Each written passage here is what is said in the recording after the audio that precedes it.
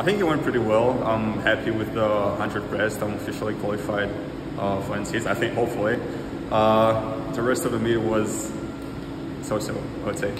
but, uh, yeah, happy with the, the beginning of it. I haven't raised yards uh, since last uh, season because I uh, I was away. I was part of it. I was here, but also I was away. So I was in a mid-season and I just wanted to experience yards again and swim fast.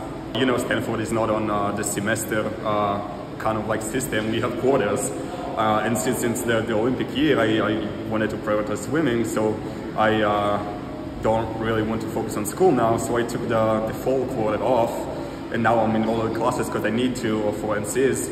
Uh, so yeah, I basically took fall off to, to focus on swimming. Part of the fall I was here, part of it I was abroad on a training camp. So I have done more swimming than I'm used to. I did a lot of long course, which um, which I think uh, is very beneficial for me, especially for the long term and uh, for the second part of the season, which is the, the Olympics, you know, uh, and just in general for the base, I think it's it's it was really nice.